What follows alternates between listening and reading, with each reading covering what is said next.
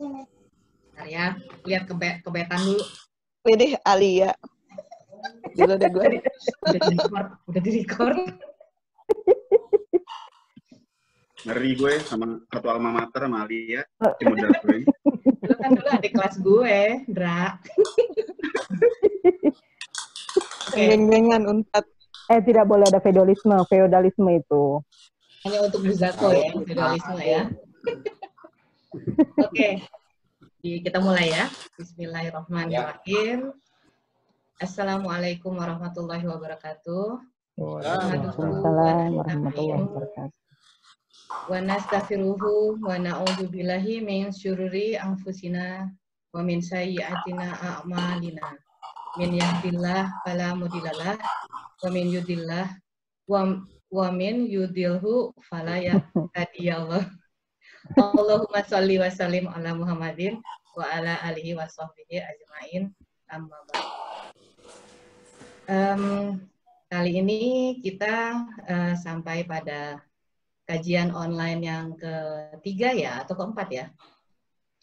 Alhamdulillah kita sudah eh, rutin melaksanakan kajian online ini dan eh, kali ini kita bincang keuangan syariah bersama pakarnya yaitu Bro Indra Prakoso. Masya Allah. Sebelumnya saya akan jelaskan dulu eh, CV-nya beliau, historikalnya beliau bahwa mereka beliau memang eh, adalah pakar syariah ekonomi. Jadi latar belakang pendidikan beliau adalah sarjana ekonomi dari Universitas Pajajaran Bandung, magister teknik dari Institut Teknologi Bandung, dan beliau juga certified financial planner FPSB Indonesia, lalu associate wealth planner FPSB Indonesia, dan sertifikasi wakaf Indonesia Majelis Ulama Indonesia. Jadi alhamdulillah sangat lengkap keahlian beliau. Pengalaman kerja asisten manajer di BUMN selama 4 tahun, lalu profesional staff untuk bank BUMN konvensional satu tahun, terus juga pernah menjabat menjadi wakil kepala cabang di bank BUMN Syariah, pernah juga menjadi kacap bank BUMN Syariah, dan bank swasta syariah, lalu vice president bank syariah. Sekarang mungkin juga sudah berhijrah menjadi founder Indonesia Financial Advisor Community. Dan beliau memiliki qualified AWP, mentor LSP, FPSB Indonesia, qualified CFP mentor Institute Financial Planning Indonesia, qualified Syariah Financial Advisor dan praktisi Syariah Financial Planner. Oke, jabat uh, alhamdulillah title-nya juga sangat banyak. Saya sampai belibet ngomongnya Indra Prakoso, Indra Prakoso, sarjana ekonomi MTS di AWP. Semoga semua pengalaman beliau ini dan juga uh, ilmu yang beliau uh, gali selama kuliah bisa menjadi bermanfaat bagi kita khususnya untuk umat Islam dan khususnya lagi untuk SMS 92. Oke, mungkin saya persilakan waktu untuk Bro Indra. Silakan. Assalamualaikum warahmatullahi wabarakatuh. Innal hamdalillah nahmaduhu wa nasta'inu wa min syururi anfusina wa min sayyiati a'malina may yahdihillahu fala mudhillalah wa may yudlil fala hadiyalah. Asyhadu an la ilaha illallah wa asyhadu anna Muhammadan abduhu wa rasuluh. Allahumma sholli ala sayyidina Muhammad wa ala sayyidina Muhammad. Amma ba'd. Eh, pertama sekali terima kasih atas undangannya dari keluarga besar SMS 92 Eh, dan saya kayaknya bukan apa-apa lah dibanding teman-teman semua di sini luar biasa ada Pak Sigit ada siapa lagi banyak banget nih Eh, dengan dengan kekafa apa dengan kafaah beliau semua yang saya kayaknya bukan apa-apa deh gitu ya jadi saya sini hanya sekedar sharing saja ke teman-teman dan mungkin nanti akan eh, kita bisa diskusi gitu ya. Tetapi kalau mengenai soal kesyariahannya, kayaknya Ustadz-Ustadz di sini jauh lebih mumpuni dibanding anak. Em, saya punya waktu sampai jam berapa? 10 menit ya.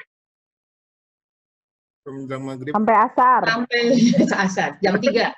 Jam 3 sudah termasuk tanya jawab. Oke, Ah, baik, ini- insya Allah. Hmm. Modelnya kita mau gimana sepakat ini? Apakah penjelasan langsung tanya uh, dengan pertanyaan atau selesai dulu penjelasan baru tanya jawab? Diserahkan. Uh, tergantung ibu moderator aja. Oke. Okay. Saya nurut. ya udah, kita mungkin penjelasan dulu sampai selesai, baru nanti ada pertanyaan bisa lewat chat, juga bisa nanti raise hand ya. Silakan. Oke, okay. siap-siap. Ya, Bismillahirrahmanirrahim. Uh, teman-teman, saya sekarang mencoba untuk share screen. Uh, ini sengaja saya menggunakan dua screen. Kenapa? Agar yang satu saya bisa monitor apakah share screen saya bisa terlihat atau enggak di teman-teman.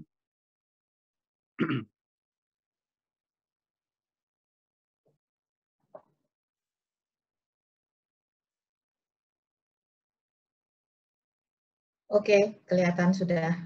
Lihat ya, alhamdulillah. Ya.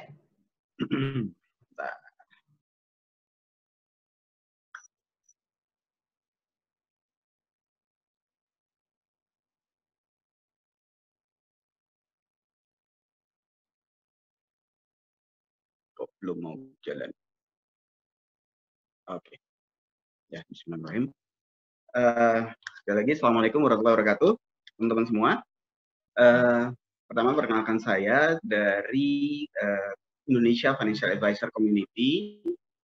Uh, saya di sini sebagai salah satu founder dari IFAC ini, dan kami memiliki hashtag yaitu semua mampu sejahtera, sehingga bagaimana kita bisa meraih keluarga Indonesia yang sejahtera. Dan tentunya sebelum keluarga yang sejahtera, kita semua nih keluarga besar SMS yang sejahtera duluan, ya. Uh, kami tergabung di sini dari grup member dari Five United. Ini ada member kami semua. Ya. Kami tergabung di sini dan kami bergerak juga atas dasar peraturan dari OJK yaitu uh, peraturan OJK nomor 1 garis miring POJK 07 2013 yaitu bahwa semua lembaga keuangan itu wajib menyelenggarakan edukasi atau literasi keuangan. Ya, jadi mengadakan literasi keuangan. Jadi kalau teman-teman undang saya di sini, alhamdulillah. Kenapa? Karena itu juga merupakan sebuah kewajiban saya untuk melakukan literasi keuangan. Uh, kita mulai dari awal. Bagaimana demografi, uh, bonus demografi, demografi untuk menyongsong Indonesia Emas tahun 2045. Jadi yang seperti kita ketahui bahwa sebenarnya uh, bonus demografi Indonesia itu sudah mulai terjadi sebenarnya sekarang ini, yaitu di tahun 2020 sampai dengan tahun 2035. Sebenarnya apa sih bonus demografi itu? Jadi uh, bonus demografi itu adalah kondisi saat di mana struktur penduduk Indonesia itu dinominasi oleh kalangan usia yang produktif. Ya, berarti yang kalau kemarin-kemarin itu milenial-milenial itu masih pada sekolah, nah sekarang sudah mulai mereka lulus sekolah ya sehingga penduduk yang bisa bekerja itu jumlahnya sangat cukup gitu ya cukup banyak dan jumlah tanggungan atau penduduk usia non produktif itu lebih sedikit jadi piramidanya Indonesia itu sudah mulai membaik kalau dulu kan kita modelnya tuh uh, masih seperti trapesium gitu ya nah sekarang akan mulai menjadi piramida di mana usia produktif itu jauh lebih besar dibandingkan dengan usia yang non produktifnya. Oke. Nah, uh, presentasi ini memang dibuat waktu itu sebelum masuk ke era bonus demografi. Artinya kita bersiap-siap nih. Jadi saya memberikan presentasi ini kepada teman-teman mahasiswa, adik-adik mahasiswa, kepada mahasiswa saya juga waktu saya pernah ngajar di Telkom waktu itu, itu memberikan uh, apa ya encourage kepada mereka bahwa masa depan mereka sebenarnya cemerlang gitu ya dan Indonesia memang harus siap terhadap itu karena apa karena kalau nggak siap malah bisa menjadi bencana kenapa bisa menjadi bencana karena kalau mereka tidak siap dengan Indonesia tidak siap dengan entah lapangan pekerjaannya entah dengan uh, infrastrukturnya maka justru jumlah tenaga kerja Indonesia yang meledak besar, tiba-tiba membesar, itu malah menjadi beban, bukan menjadi bonus Indonesia emas. Malah bisa berkebalikannya, ya. Sehingga eh, saat inilah sudah dimulai, maka kita harus lebih mempersiapkan diri lagi. Kenapa ada concern di situ? Karena kita bisa lihat di sini. Kalau dulu kita ada yang namanya tradisionalis, gitu ya.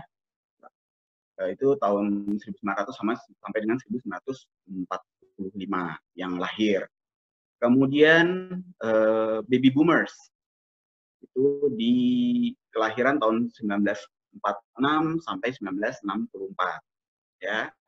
Di sini ada uh, apa namanya contoh-contohnya. Kemudian gen X ya itu gen X yaitu yang lahir di tahun 1965 sampai tahun 75 kayaknya kita nih masuknya gen X kali ya. Ya nggak Bu Alia? Ya? Kalau saya nah. kayaknya seniors jadi X dan milenial. Silakan oh, gitu ya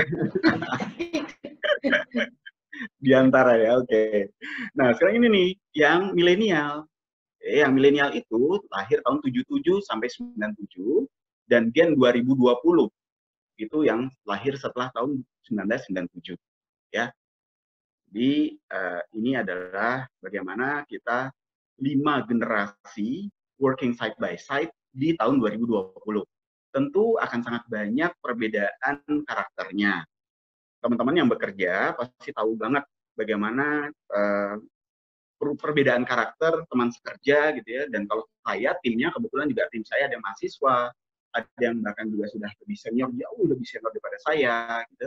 Itu sangat jauh dan sangat sulit untuk bisa melakukan uh, apa ya training misalnya memberikan memberikan uh, masukan kepada mereka itu mesti dipisah. Nggak bisa bareng-bareng ternyata okay. Nah, di sini saya bisa sampaikan bahwa uh, ternyata milenial-milenial itu itu lebih banyak debt-nya dibandingkan dengan saving-nya mereka. Ya, ini menjadi sebuah ancaman tersendiri. Tapi kalau misalnya kita telaah, kenapa sih kok mereka lebih banyak debt dibanding saving? Itu salah kita juga sih sebenarnya. Infrastruktur kita juga sebenarnya. Kenapa? Kayak gini aja deh, uh, ini di luar syariah atau non syariahnya ya, tetapi bisa kita lihat bahwa misalnya aja kalau kita mau pakai Gojek aja, itu ada istilah pay later. Bener kan ya? Itu hutang lagi. Terus kalau misal kita belanja ke mana-mana, itu nggak usah pakai kartu kredit, bisa kredit. Gitu kan? Sementara zamannya kita bikin kartu kredit itu susah bener. Ya. Sekarang mah gampang sekali ya akhirnya membuat mereka merasa uh, adik-adik kita yang di milenial itu merasa bahwa oh begitu mudah ya ternyata hidup ya gitu. Saya tinggal gesek kartu atau saya perlu belanja bahkan kebutuhan hidup hari-hari gitu ya bisa berhutang. Nah, padahal saya ingat banget zaman dulu waktu saya masih kecil diwanti-wanti sama ibu saya bahwa kita tidak boleh berhutang untuk konsumtif. Karena apa? Karena kalau kita berhutang untuk konsumtif, gimana kita cara bayarnya? Gitu. Itu dari kecil tuh saya udah gitu. Luar biasa ibu saya. Sekarang Alhamdulillah beliau sehat, sekarang di usia ke 89. Insya Allah mudah doanya teman-teman di November besok ulang tahun yang ke 90. Barakallah. Amin. Nah, ini merupakan tantangan besar loh buat kita. Tantangan besar buat kita, kenapa? Karena kita harus mempersiapkan para milenial ini dan mungkin teman-teman yang sudah memiliki putra putrinya di tahun 2020 ke sana itu ada yang sudah masuk menjadi angkatan kerja. Nah, ini yang mesti kita siapin nih. Bahkan, bahkan ada sebuah survei menyampaikan bahwa seorang milenial itu akan sangat sulit untuk memiliki rumah. Beda sama kita. Kan gitu ya. Kita buru-buru kita buru-buru cari rumah. Gitu ya, cari KPR gitu kan. Dan macam-macam. Tapi kalau mereka enggak, Nah, ini jadi jadi concernnya kita. Kenapa? Karena mereka sibuk dengan berlibur. Thanks God to COVID, sehingga mereka tidak bisa berlibur. Gitu ya. Mereka bisa saving uangnya. Kenapa? Karena mereka adalah generasi yang ingin eksis di dunia maya. Keberhasilan buat mereka, setelah saya bicara dengan beberapa milenial, itu mungkin bukan survei secara keseluruhan ya, tapi hanya beberapa uh, milenial yang terlibat di tim saya, kawan-kawan mereka menyampaikan bahwa kesuksesan saya adalah saya bisa eksis di media sosial, banyak followersnya, uh, begitu saya posting itu begitu banyak yang likes gitu ya, kasih komen, itu keberhasilan buat mereka. Sehingga apa? Mereka selalu mendatangi, berusaha, berupaya untuk mendatangi spot-spot yang instagramable untuk mereka posting di media sosial mereka.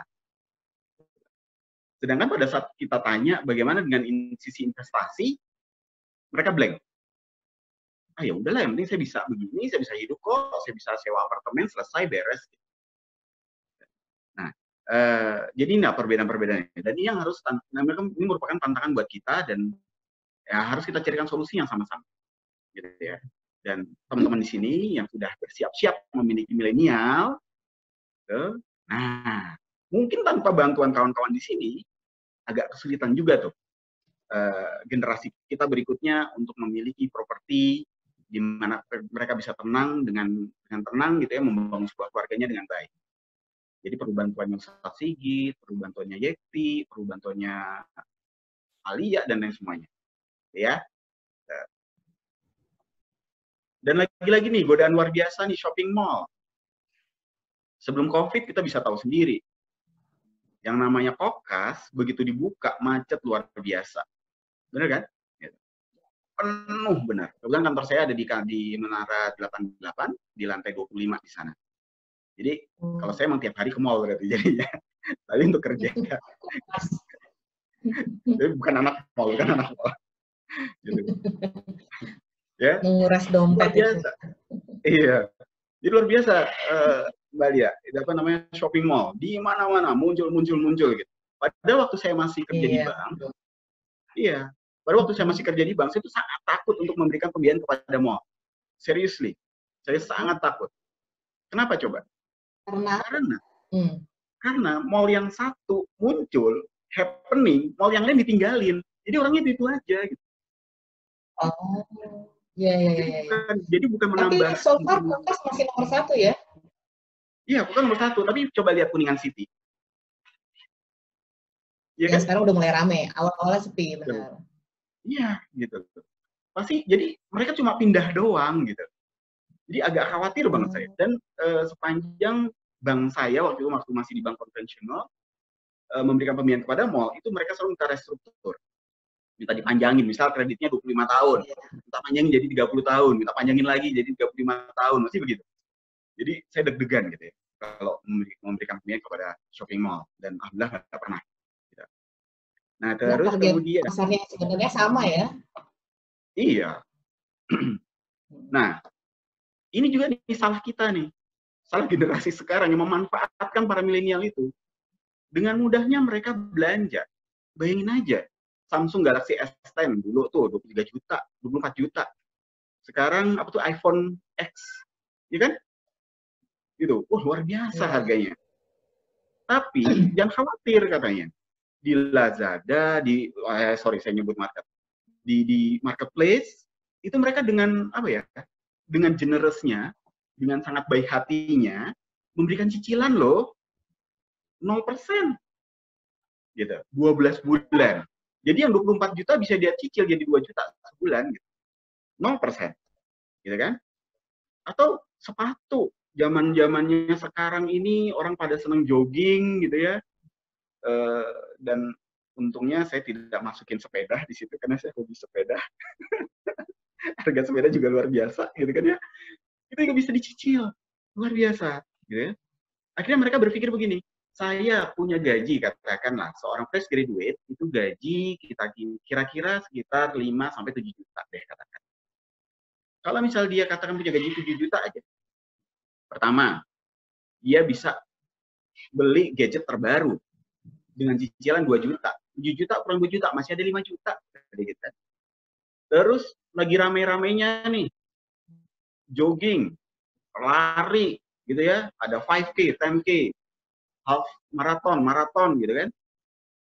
Dan berpikir bahwa ini kan investasi buat kesehatan, mereka berpikir selalu begitu. Entah berpikirnya, entah excuse-nya, gitu ya. Saya mesti beli sesuatu yang bagus dong, gitu. Daripada nanti kaki saya sakit. Akhirnya beli itu yang 20 jutaan di 20 jutaan dia bisa matching di CFD akhirnya bukannya buat lari akhirnya buat jalan-jalan doang di CFD gitu. Satu setengah juta. Udah habis tuh satu setengah juta. Berarti tinggal tiga setengah juta. Tiga setengah juta kemudian buat bayar kos. Buat bayar uh, apartemennya dia sih ya sewa apartemen katakan. Bisa katakan dua juta. Tinggal satu setengah juta. Bisa lah buat hidup sebulan. Gitu belum lagi tambahan lagi. Eh kan saya mau jalan-jalan luar negeri tahun depan dengan dengan uh, grup wisata saya dengan dengan backpackers traveling saya saya mesti nabung kan gitu saya mesti nyicil tiket segala macam mulai berkurang lagi ya udah akhirnya Mereka tidak ber- pernah berpikir untuk mempersiapkan masa depan mereka. Nah, kita sebagai besar SMS, sebagai yang punya milenial, nah itu kita mesti nih bisa melakukan edukasi kepada anak-anak kita, pada adik-adik kita, pada keponakan kita untuk bagaimana sih sebenarnya mengatur keuangan dengan baik, gitu ya. Oke. Nah, ternyata 85% dari masyarakat Indonesia itu memerlukan bantuan untuk merencanakan tujuan-tujuan hidupnya. tujuan-tujuan hidupnya, tolong di sini teman-teman mengartikan sebagai tujuan finansial ya. Karena mereka kadang nggak nggak firm dengan tujuan hidupnya mereka sendiri. Boro-boro mereka bisa merencanakan keuangan. Kalau mereka sendiri tidak firm atas tujuannya mereka. Gitu. Misalnya, saya ingin hidup sejahtera. Udah. Sementara definisi sejahtera itu tidak didefinisikan dengan baik dan tepat. Oke, katakan, saya merasa sekarang sudah sejahtera dan saya ingin nanti uh, saya hidupnya selalu begini, tidak ada penurunan taraf hidup. Gitu. Nah, itu baru, baru mulai agak jelas, agak mulai jelas. Terus misalnya tambah lagi time frame-nya, kapan, gitu ya? Kapan mulai sejahteranya? Kapan waktunya? Dan itu ada tujuan-tujuan finansial kita masing-masing, ya keluarga kita. Itu harus kita definisikan. Nah, sebagai seorang perencana keuangan, data-data itu sangat penting buat kami untuk kita analisa. Ya. Nah, sebagai seorang financial educator, maka kami adalah sebuah profesi yang mengedukasi diri sendiri dan orang lain untuk mencapai kehidupan yang sejahtera. Ya. Walaupun definisi sejahtera masing-masing orang itu bisa berbeda. Nah, tugas kami lah untuk menanyakan, bukan menduga-duga. Kenapa? Karena definisi sejahtera dari Alia sama saya bisa beda, benar nggak? Gitu kan? Masing-masing pasti beda-beda. Nah, oleh karena itu eh, kami akan menanyakan di awal bahwa apa sih tujuannya sejahtera menurut klien kita tuh apa sih klien kami tuh apa sih gitu ya. Setelah itu baru di sini bertugas kami adalah bagaimana mencoba untuk memberikan track agar tujuan-tujuan finansialnya mereka itu tercapai. Oke, ini adalah salah satu gerakan kami di Indonesian Financial Advisor Community, yaitu adalah satu miliar untuk keluargaku, yaitu gerakan keluarga Indonesia aset satu miliar. Jadi hashtagnya itu satu miliar untuk keluargaku. Jadi ada dua hashtag. Yang pertama adalah semua mampu sejahtera, dan yang kedua adalah satu miliar untuk keluargaku. Artinya, kami berpikir bahwa setiap keluarga Indonesia itu harus minimal punya satu miliar. Satu miliar dalam dalam bentuk apa? Tidak boleh dalam bukan tidak boleh. Sebaiknya dalam bentuk liquid, gitu ya. Bukan satu miliar dalam bentuk rumah, bukan. Bukan satu miliar dalam bentuk tanah, jangan. Tetapi benar-benar liquid. Apa sih yang liquid? Yaitu cash, uang, atau emas tetapi hati-hati kalau untuk emas. Kenapa? Karena emas benar, emas itu liquid kalau kita simpan di rumah. Oke, okay. coba sekarang aku tanya, Mbak Lia kalau misalnya punya emas, misalnya emas cukup misalnya ada setengah kilo punya emas, Insya Allah, amin. Amin. Ya, emas batangan. Ya. Mbak Lia simpannya di mana? Simpan di safe deposit box. Hmm. Di rumah juga ada. Nah, gue juga ada, tapi kan nggak, tapi kan nggak setengah kilo gitu dan simpennya di rumah kan? Iya, pasti di SDB lah. Pasti di SDB. Nah ya. itu yang uh, saya sebagai orang mantan orang bank mm-hmm. yang dan kemudian belajar mengenai financial uh, planning itu bilang begini, emas kita yang ada di rumah tadi kata Mbak Dia, emas perhiasan ya. atau apa pun itu yang di rumah itu liquid, itu liquid tetapi yang di safe deposit box itu tidak bisa menjadi tidak liquid. Oh, kenapa tuh? Karena ada prosedur nah, yang harus kita lewati. Uh, betul. Tetapi begini, liquid di sini kan pada saat mendadak kita perlu kita bisa segera jual untuk kemudian kita gunakan untuk kebutuhan kita, betul? Ya. Gitu. Emas sangat mudah untuk dijual. Ya. Tapi kalau di safe deposit box itu agak sulit. Prosedur misal, uh, hari libur tutup, jam tertentu, benar kan? Ya. Gitu. Dia liquid, tapi sementara liquid. Tetapi ada yang lebih agak mengerikan lagi nih. kalau ternyata kita atau keluarga tersebut memiliki emas begitu banyak di taruh safe deposit box, terus ternyata pemegang kunci safe deposit box-nya tutup usia. Hmm. Nah, selesai itu urusan benar. Itu akan langsung di freeze sama bank. Bank akan minta, bank akan minta uh, surat fatwa waris Mm-mm. dari pengadilan, gitu ya, bahwa siapa yang berhak. Terus terang aja, kakak saya yang yang nomor tiga, yang wafat Oktober 2018, oke, itu Hmm. alhamdulillah punya dana di bank. Dan kami sebagai sebagai ahli warisnya kenapa? Karena beliau eh, suaminya udah nggak ada juga. Jadi Hmm. beliau meninggal di Oktober suaminya meninggal di November. Hmm. anaknya satu perempuan. Masih kecil. Gitu. Eh, udah dewasa tapi berkebutuhan khusus. Hmm. artinya kan harta waris kan jatuhnya ke dia nih. Eh, artinya harta waris jatuhnya ke saya. Kenapa? Karena saya sebagai saudara laki-lakinya dia. Hmm. udah kan? Jatuhnya ke saya. Kita udah bikin surat pernyataan tuh. Dari RT RW kelurahan kecamatan. Udah bikin kasih ke banknya segala macam semua itu sampai sekarang belum cair tuh uangnya Oh, udah dari 2018 ya, dua tahun ya? yes artinya apa ya alhamdulillah kami masih bisa masih punya uang untuk kehidupan kami coba bayangkan keluarga-keluarga lain yang ternyata uangnya semuanya di bank Iya. selesai urusan kalau kayak begitu bener kan Iya. Nah, itu yang bahaya tuh di situ. Oke. Ya, jadi kita punya gerakan keluarga Indonesia aset satu miliar yang gimana? Kenapa satu miliar? Kenapa nggak 500 juta? Kenapa nggak 2 miliar? Itu ada penjelasan tersendiri. Ya. Dan bagaimana caranya untuk bisa punya aset satu miliar?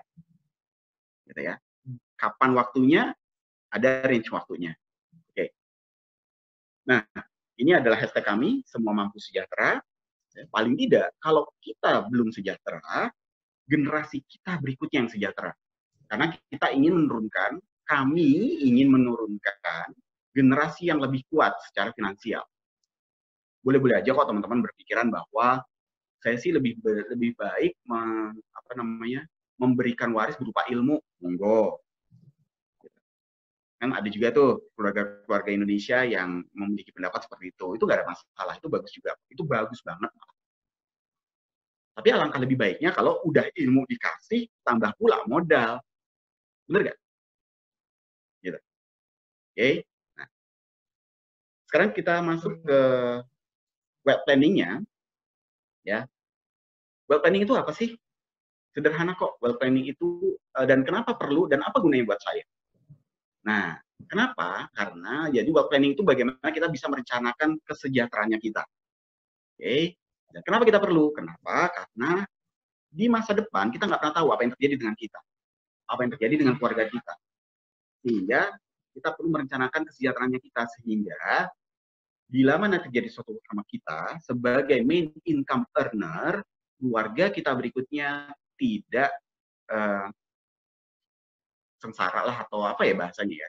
Eh, tidak kalau kami men- menyampaikannya sebagai tidak mengalami bencana keuangan keluarga. Gitu. Nah, jadi apa gunanya? Yaitu tadi untuk men, untuk mensecure keluarga kita yang kita kasih, yang kita cintai, agar mereka tetap bisa melangsungkan kehidupannya walaupun kemudian kita sudah usia, sudah tidak ada. Ya. Nah, jadi ada tiga tujuan wealth planning. Yang pertama adalah membuat, kemudian menumbuhkan, dan memelihara kekayaan Anda semasa hidup mengizinkan. Oke, dan setelah itu baru ada tambahannya, yaitu membagikan dalam bentuk waris atau legacy planning. Jadi ada tiga dulu nih, kita yang masih hidup sekarang, masih punya waktu. Oh iya, pertanyaannya, masih punya waktu nggak nih untuk membuat? Masih punya waktu nggak nih untuk menumbuhkan, kemudian memelihara? Nah, itu ada yang namanya siklus kehidupan nanti, saya jelaskan lebih lanjut. Kemudian ada untuk mendukung gaya hidup atau kebutuhan hidup dan mencapai tujuan hidup tanpa menghabiskan semua dana yang ada. Gitu ya. Nah, bagaimana caranya? Itu nanti kita bisa buka uh, sesi pertanyaan atau mungkin sesi konsultasi, silakan aja. Karena khusus untuk teman-teman yang di keluarga besar SMS, itu bisa konsultasi ke saya, privately, monggo. Dan itu walaupun uh, saya sebagai CFP, tapi nggak akan saya charge, Pak. Tenang aja. Ya, dan kemudian bagaimana kekayaan bisa kita bagikan pada saat... Ya? Hah? Catat. Ya, jadi bagaimana kekayaan itu bisa kita bagikan pada saat meninggal dunia, serta cara paling efisien melakukan hal ini tanpa merusak kekayaan tersebut. Nah, ini menarik. Kenapa menarik? Coba teman-teman googling, gitu ya, googling, cek, tulis saja sengketa. The first come up pasti mengenai sengketa waris. Cobain. Itu selalu begitu. Banyak sekali sengketa waris. Nah, itu yang kami sebagai financial planner itu berusaha untuk menghindari sengketa warisnya tadi tuh. Jadi nanti kalau misalnya ada teman yang mau konsultasi ke kami di iPad, itu bisa kami sampaikan, ini loh hati-hati ini, hati-hati ini, hati-hati ini. Gitu ya. Ini bisa terjadi sengketa, khawatir begini, khawatir begitu gitu.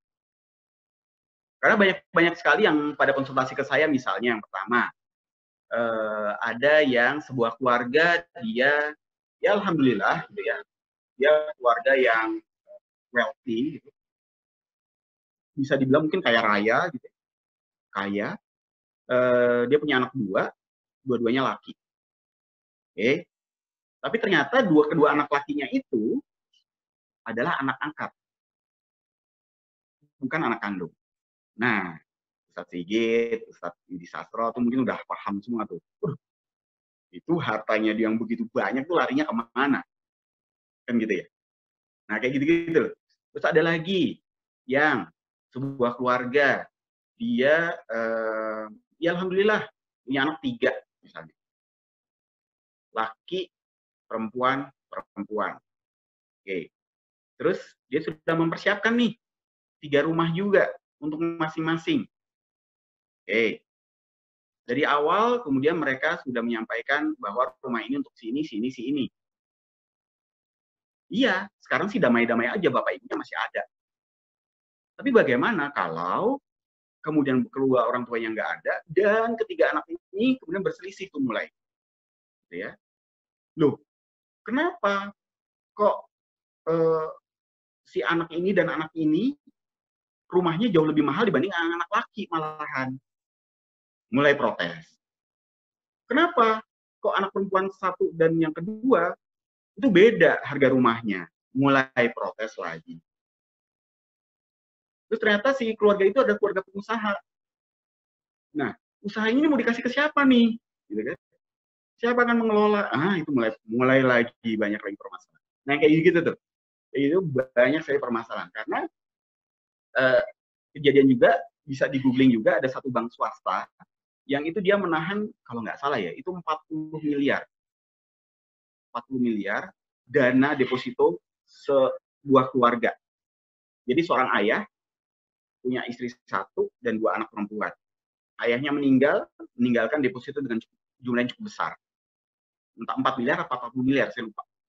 Di sebuah bank swasta nasional. Nah setelah mereka meninggal ketemu kan biliar depositonya ini deh kemudian mereka ke bank tersebut mau mencairkan. Ya kan? Ya udah karena banknya bilang oke okay, bu kalau begitu tolong saya diberikan fatwa waris seperti yang saya lakukan kemarin dulu tuh tahun 2018 mulai ngurus dari RT RW segala macam sudah saya tetap belum keluar. Itu nggak sampai miliaran bagaimana dengan keluarga ini? Ternyata dalam pengurusan tersebut begitu sudah mau masuk ke banknya ada lagi seorang datang. Laki.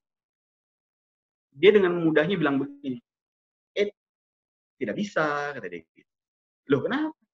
Saya anaknya bapak itu juga. Ternyata bapaknya itu nikah siri. Nah loh. Pusing nggak? Gitu kan? Udah terjadi sengketa di situ. Akhirnya bang bilang silakan kalian semua bersengketa dulu di pengadilan keputusan pengadilan baru lari ke saya Abangnya begitu. Nggak putus-putus. Kenapa nggak putus-putus? Karena hak hukum waris di Indonesia itu ada tiga. Hukum waris agama, hukum waris uh, positif, gitu ya, dan hukum waris ada. Ada tiga. Dan luar biasanya, ketiga-tiganya itu, sepanjang pengetahuan saya, itu sama kuat. Jadi kalau misal ternyata si anak A, yang anak lakinya itu bilang bahwa saya mau pakai hukum agama, nah beda lagi tuh. Atau saya mau pakai yang lain mau pakai hukum positif, beda lagi tuh. Udah nggak bisa tuh berkelahi tuh di pengadilan, nggak cair-cair, gitu. Jadi nah sehingga apa yang terjadi bukannya tenang memberikan warisan, tapi malah jadi tidak tenang. Itulah tugas salah satu financial educator. Yang kedua, yang lainnya adalah tanpa merusak kekayaan tersebut. Yaitu tadi misalnya dia sudah punya rumah besar, anaknya tiga, masa rumahnya dibagi-bagi tiga, kan gitu. Ada satu yang bilang dijual aja, kemudian nanti uangnya kita bagi rata, misalnya laki semua atau perempuan semua, kan gampang. Tapi ada satu yang bilang jangan jangan dijual, ini adalah rumah kenangan. Nanti kalau misalnya kita udah pada berkeluarga masing-masing, semuanya kita akan kembali kumpul di rumah ini. Hmm, mulai lagi deh. Bener gak? mulai bersengketa lagi kayak gitu. Padahal masing-masing punya tujuan karena masing-masing punya tujuan yang masing-masing dan merasa tujuannya adalah yang benar atau yang baik. Tapi ya buat masing-masing. Oke. Nah, financial planning itu adalah jadi kekayaan itu adalah bukan hal yang instan, melainkan dibangun. Kalau nggak bangun kekayaan, mungkin kita akan membangun kemiskinan di masa depan. Ini kalimatnya cukup tajam gitu memang. Ya. Tetapi sekali lagi bahwa kekayaan, kemiskinan itu relatif, relatif kesejahteraan itu relatif masing-masing kita. Ya, oke.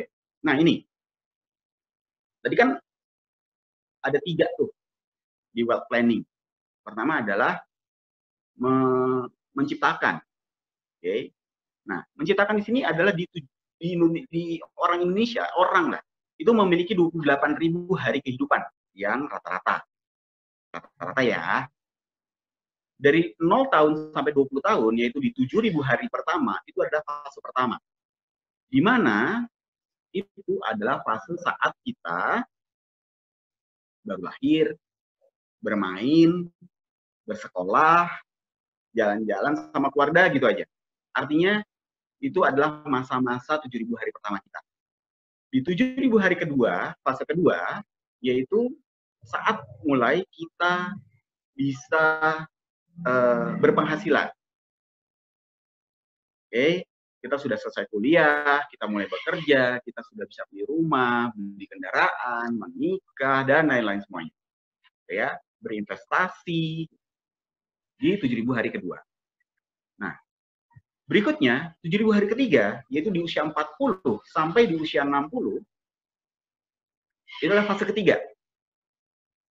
Di mana kita menumbuhkan menumbuhkan yaitu kita mulai bisa menumbuhkan yang rumah satu jadi punya rumah dua, mulai beli apartemen, tambah kendaraan, investasinya dibanyakin, kan gitu. Ya. Nah, di 60 eh 60 7000 hari keempat yaitu di mana fase terakhir yaitu fase 4 yaitu adalah saat bagaimana kita menikmati hasil kerja keras kita di fase kedua dan fase ketiga. Artinya apa?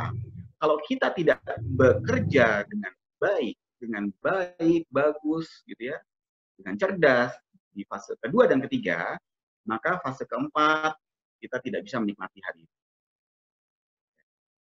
Ada sih memang yang begini. Setelah pensiun, dia harus bekerja lagi kalimatnya adalah harus dan terpaksa bekerja lagi. Kenapa? Karena untuk memenuhi kebutuhan hidup dia. Nah, sementara sementara kalau ada orang lain lagi yang setelah pensiun dia masih tetap ingin berkarya. Nah, itu beda tuh. Gitu ya. Beda cara pandang. Bukan dia terpaksa bekerja, tetapi dia memang ingin masih tetap berkarya. Ingin tetap lebih bisa bermanfaat buat orang lain. Itu beda ya. Jadi di fase ke satu dan fase keempat itu adalah fase tidak ada pendapatan. Dan di fase yang ke ini, gitu ya, fase kedua dan ketiga adalah saatnya kita untuk membangun impian kita. Tapi ada kendalanya. Yang pertama, itu tadi, pola keuangan yang konsumtif, yang memiliki konsep sisa. Kenapa konsep sisa? Saya ingat banget dulu, lagi-lagi contoh keluarga saya, waktu saya kecil, ibu saya sudah bekerja, eh, berarti beliau termasuk wanita karir itu di zaman itu ya. Begitu beliau gajian nih, begitu gajian, itu beliau itu sudah punya amplop banyak banget, amplop. Langsung dia masukin amplop-amplop tuh, gitu. Oke, nah itu manajemen amplop kalau kata kata ibu saya. Tapi ternyata beliau juga sudah menyiapkan konsep sisa, eh konsep bukan konsep sisa, tapi konsep sisi. Dia udah sisihkan dulu nih. Ini sisi untuk tabungan, ini sisanya untuk kebutuhan hidup. Untuk si Indra sekolah, untuk si Indra jajan mungkin, untuk biaya hidup, dan lain-lain, transport, lain-lain. Yang kedua, kendala kedua adalah risiko hidup. Yaitu misalnya, dan zalik, jadi sakit yang berkepanjangan, cacat sehingga tidak bisa produktif, atau bahkan meninggal dunia. Gitu ya. Nah, meninggal dunia ini meninggal terlalu cepat atau meninggal terlalu lama. Gitu. Jadi risiko hidup itu seperti itu. Ya. Nah, penyesalan yang sering terjadi yaitu di usia menjelang fase keempat nih. Menyesal karena tidak bekerja keras, misal karena tidak memiliki perencanaan baik, gitu ya, dan dan e, perencanaan keuangan di fase kedua dan fase ketiga. Terus terang saya pun setelah 40 tahun baru ngeh. Tapi akhirnya oleh mentor saya di FPSB Indonesia, beliau menyampaikan juga bahwa belum terlambat. Masih bisa kita kejar. Jadi teman-teman di sini pun belum terlambat. Masih bisa kita kejar insya Allah. Ya, oke.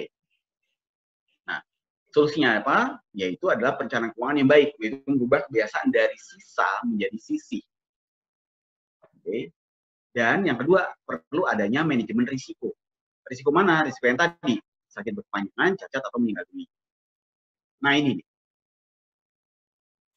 Ini adalah um, tata kelola dana pendapatan per bulan berdasarkan financial standard internasional. Yaitu yang pertama dana sosial. Dua setengah sampai 10 persen zakat kita, CSR kita, sedekah kita, mungkin ingin menyisikan untuk wakaf kita, gitu. Itu bisa di situ. Bisa kita taruh di situ.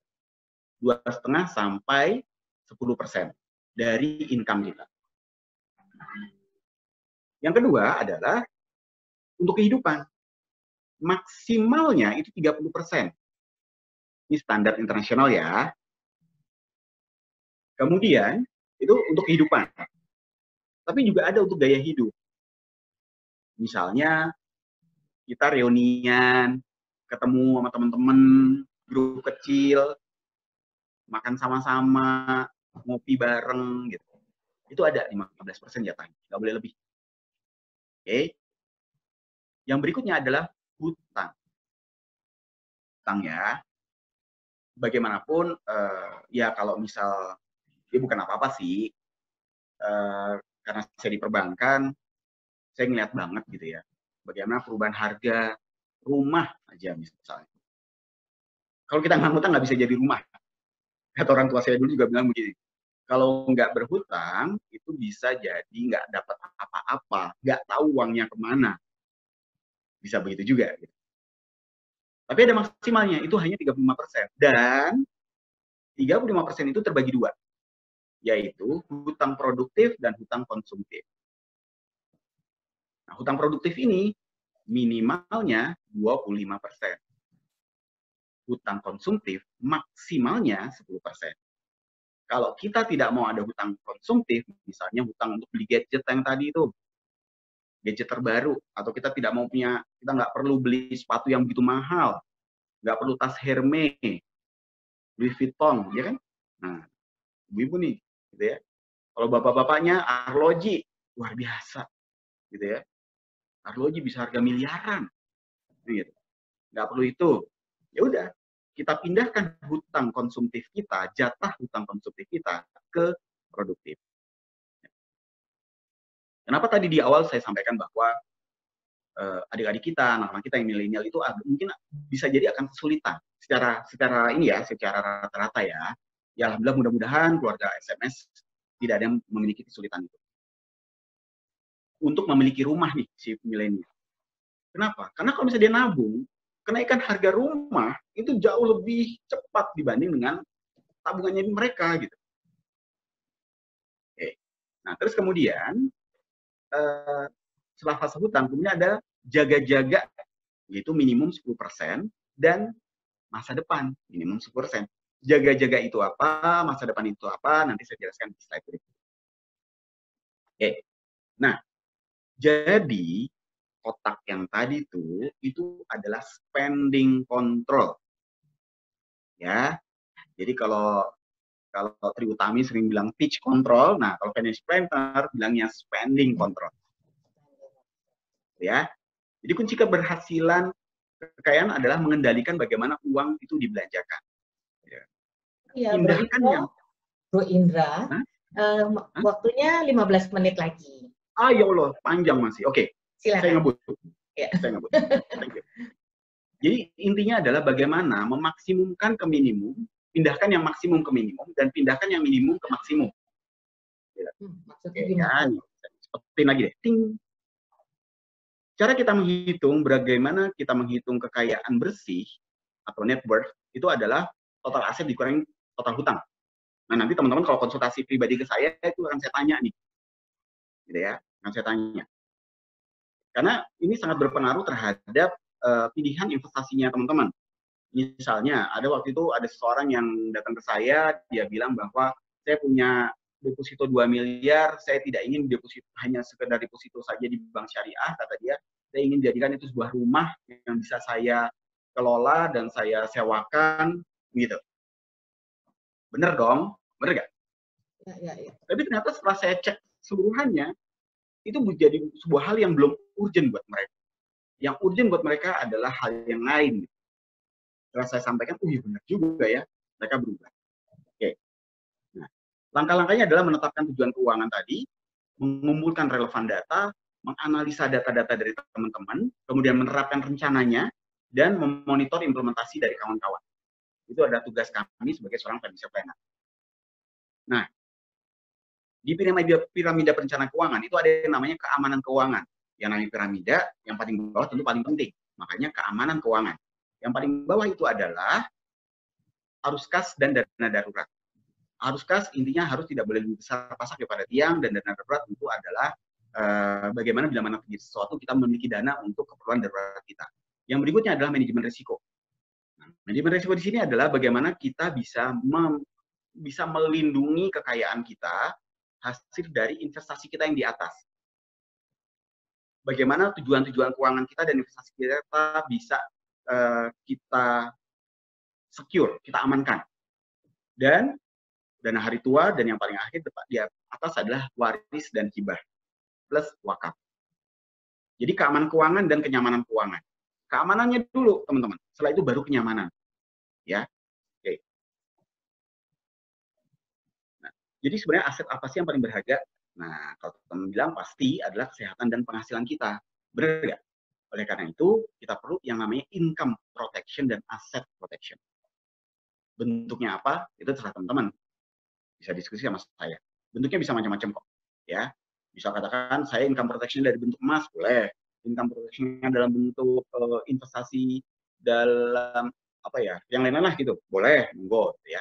Maksudnya budget kan. harus punya income atau si aset itu yang bisa menjadi income kalau income protection Betul. itu. Nah, income protection itu adalah bagaimana kita kalau income protection adalah kan kita, kita sekarang punya income. Misalnya ya. uh, gaji bulanan misalnya gaji bulanan 10 juta gitu ya.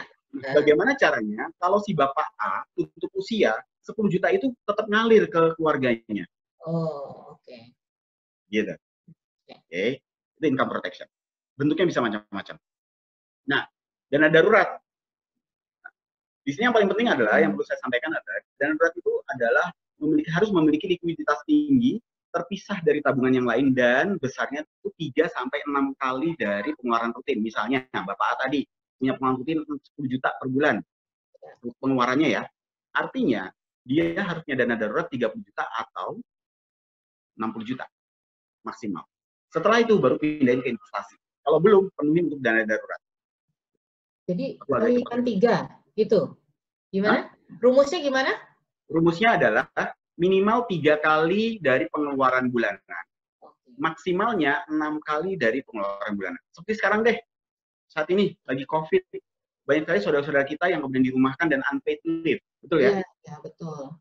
Kalau mereka sudah punya dana darurat, mereka bisa bertahan tuh selama enam bulan ke depan. Mm -hmm. Ya kan? Ya. Jadi nggak langsung kebingungan gitu loh, nggak langsung kebingungan.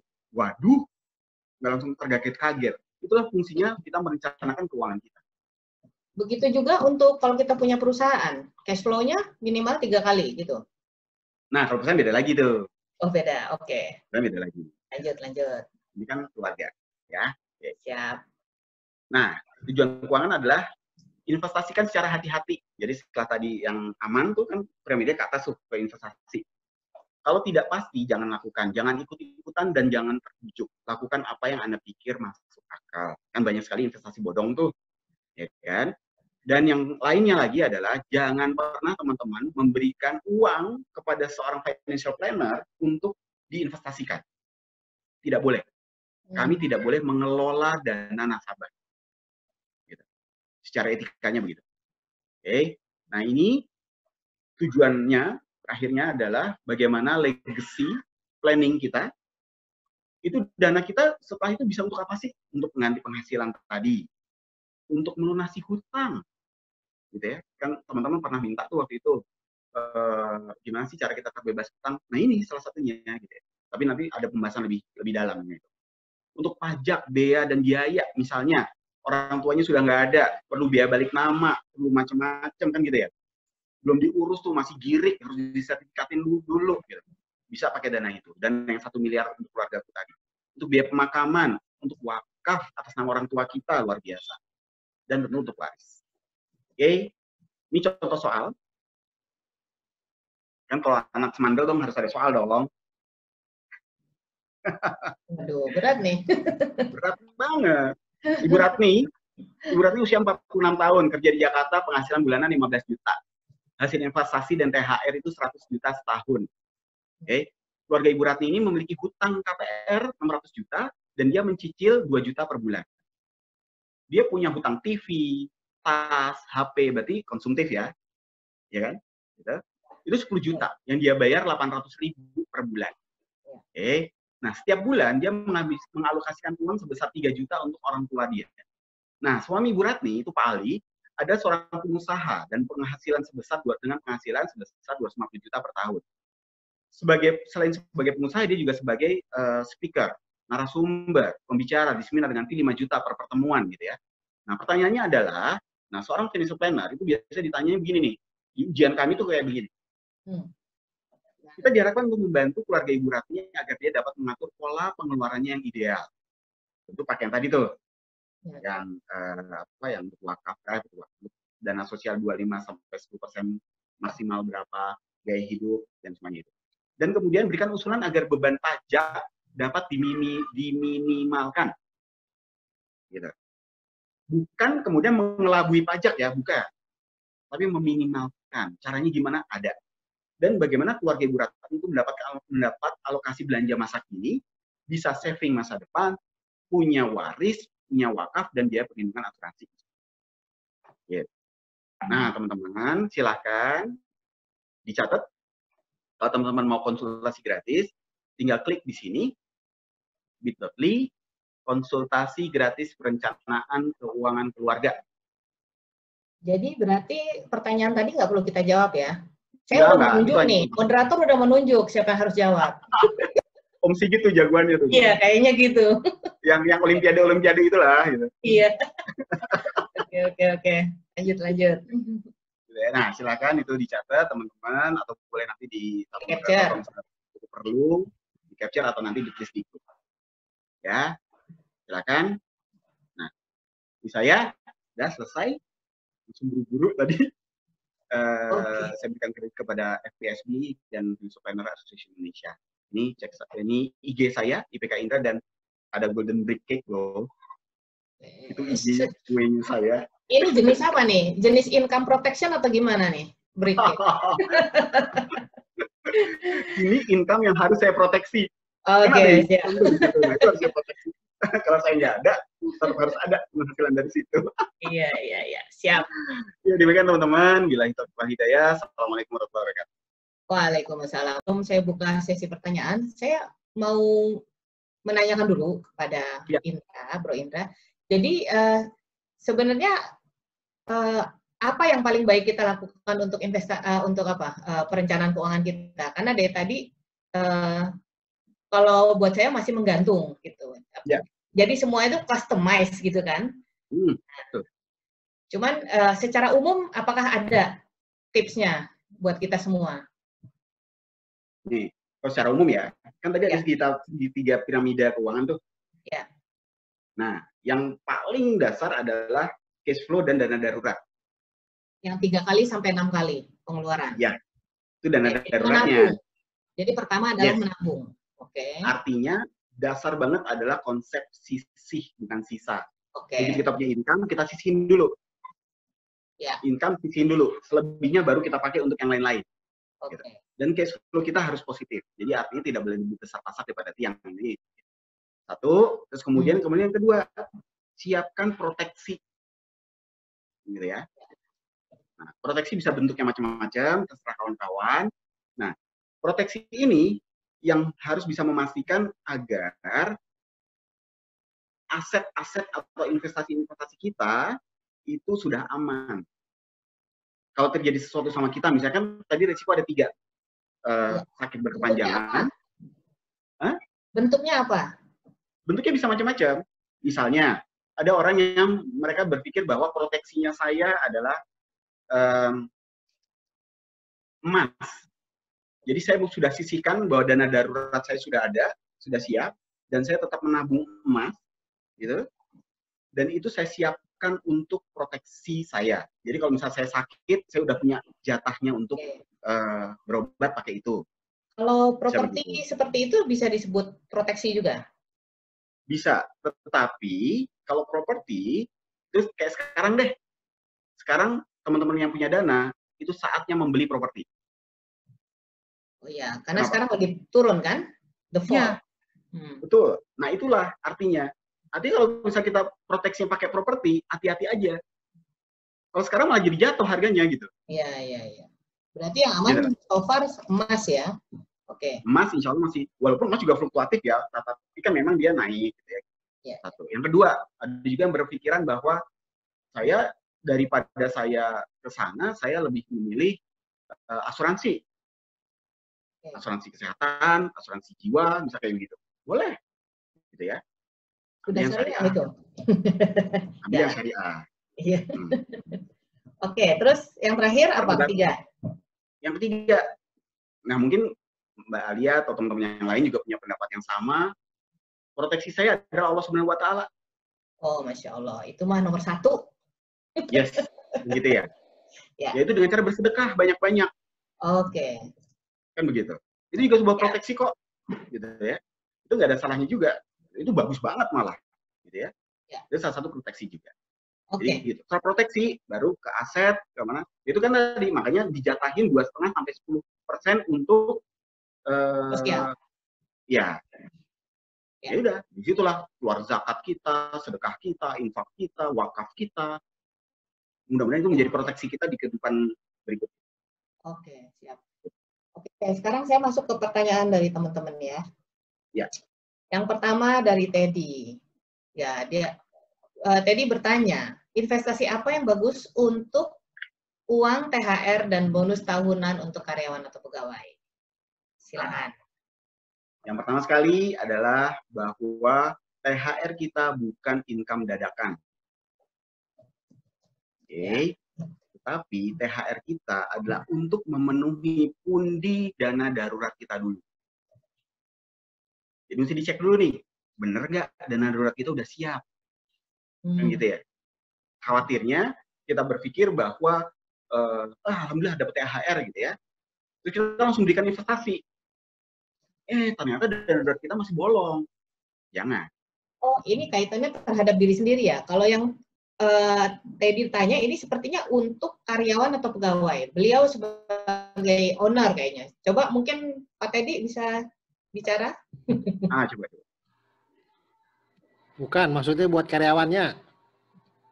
Iya, buat karyawan. Jadi sebagai owner dari perusahaan, bukan, bukan sebagai, owner, bukan sebagai yang owner. menerima THR, tapi yang, yang memberikan. Buat yang menerima. Nah.